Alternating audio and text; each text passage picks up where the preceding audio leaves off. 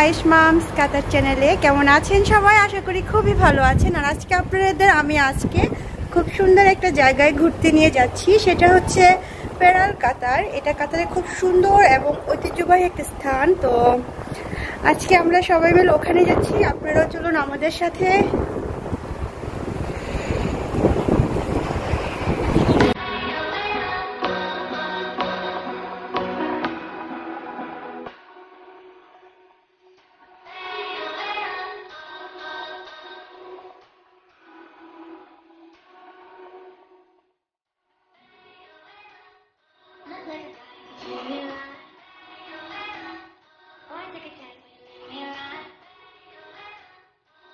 তো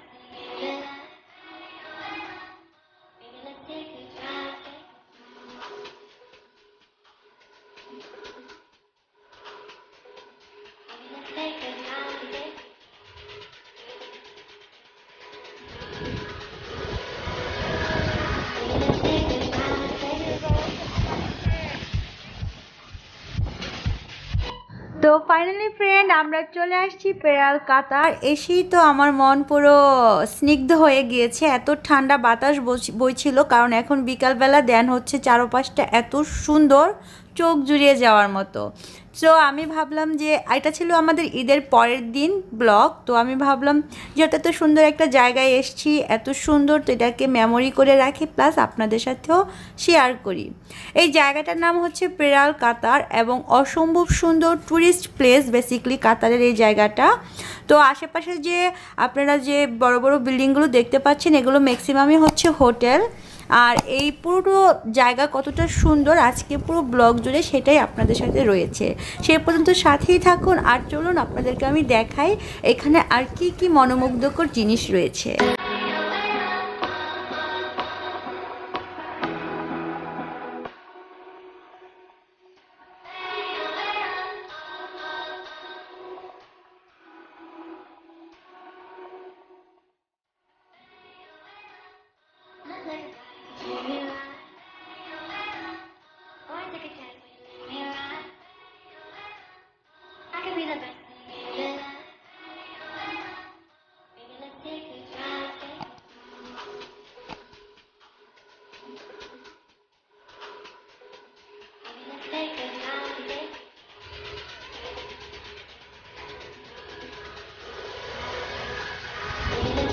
আর এটা হচ্ছে আপনি চাইলে এখানে বসে খাবার খেতে পারবেন। চাইলে ভিতরেও বসে খাওয়া যাবে বাট এই তো। হুম।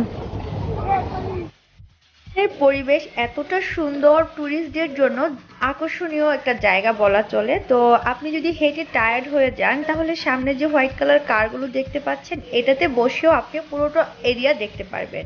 অসম্ভব সুন্দর এই জায়গাটা।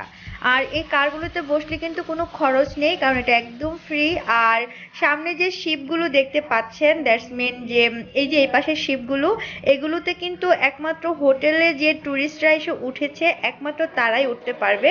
আমাদের মতো আমরা যারা আসছি বেসিক্যালি আমরা তো হোটেলে উঠিনি, আমরা আমরা এভাবে ঘুরতে আসছি এরিয়াতে, তো আমরা চাইলে এই শিপটা ভাড়া নিতে পারব না। একমাত্র হোটেল থেকে, ম্যানেজমেন্ট থেকে এটা ভাড়া দিয়ে দেয় এক একটা ট্যুরিস্টকে টোটাল ঘুরে দেখার জন্য। তো আর এবার আমরা শিপ উঠতে পাইনি ফিউচারে অবশ্যই যদি শিপটা ট্যুর করতে পারি, আপনাদেরকে শিপে করে এখানকার আরও যে প্লেসগুলো আছে সেটা দেখাবো। আর এখন চলে আসছি কাতারের এই জায়গাটার মধ্যে একটা সুন্দর করে নকশা করে লেখা আছে আই লাভ কাতার তো এটার মধ্যে বাচ্চারা খেলতেছে, এই যে আয়ুষও খেলতেছে দেন স্পেসটা এতটা সুন্দর আমি বক বক না করে আপনাদেরকে টোটাল শেয়ার করি আপনারা এনজয় করুন।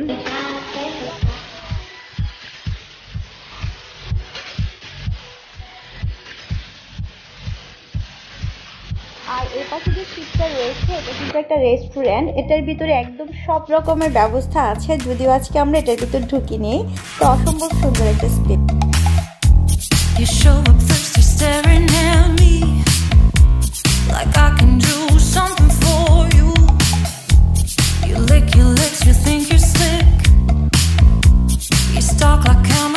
answer me.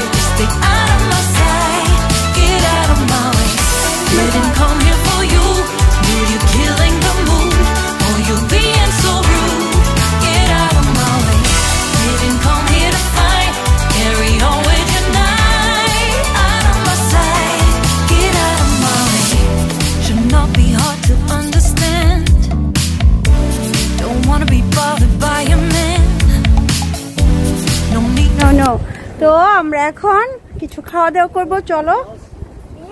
হুম? যাবে না ওরা যাবে না।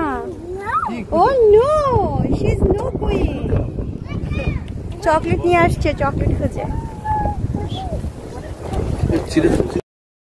অলমোস্ট সন্ধ্যা হয়ে গিয়েছে, তো আস্তে আস্তে করে প্রত্যেকটা বিল্ডিংয়ে লাইটিং হচ্ছে। তো বিশেষ করে সন্ধ্যার পরে যে রাতের দৃশ্য, সেটাও কিন্তু খুবই সুন্দর হয়। তো আমাদের হাতে তেমন একটা টাইম নেই।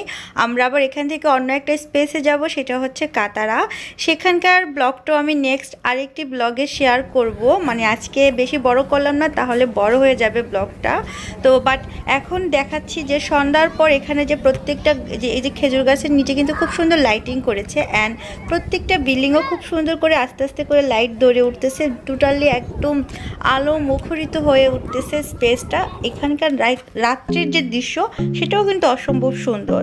আর এখন আমরা চলে যাচ্ছি, আর এই তো দেখেন রাস্তার মধ্যে যে যতগুলো গাছ ছিল, প্রত্যেকটা অনেক সুন্দর করে লাইটিং করা হয়েছে ঈদ উপলক্ষে।